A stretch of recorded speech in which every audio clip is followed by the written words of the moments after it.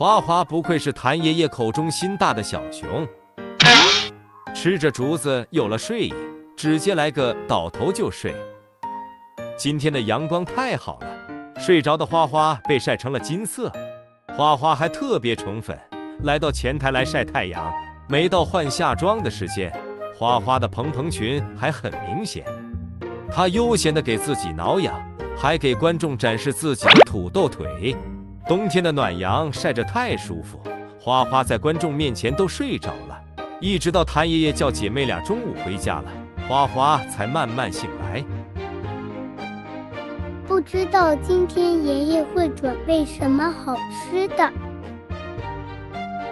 前几天姐妹俩都不吃胡萝卜，爷爷今天放大招了，他做了一个胡萝卜冰蛋糕，围了一圈的苹果。花花迈着期待的步伐出来了。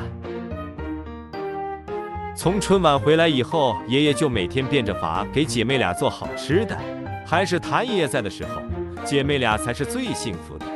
爷爷的策略还是有效果，花花先对冰蛋糕产生了兴趣，放着最爱的小苹果不吃，花花舔起了胡萝卜冰蛋糕。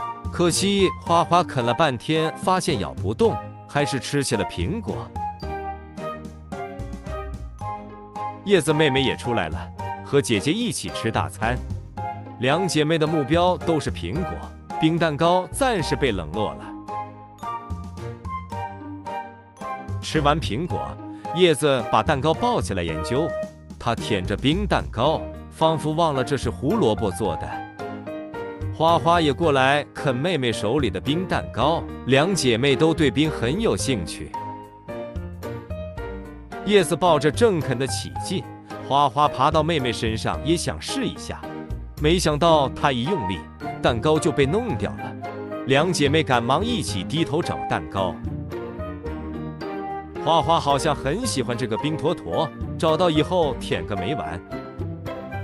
花花吃冰的时候，叶子吃起了餐盘。谭爷爷的餐盘快要被消耗完了，妹妹去睡觉了，花花还抱着冰块一直舔。不过上面的胡萝卜被冻在里面，一点都没少。果然，花花喜欢的是冰，而不是里面的内容。吃完冰，花花继续去吃竹子。花宝鸡吃了一会，忽然起身。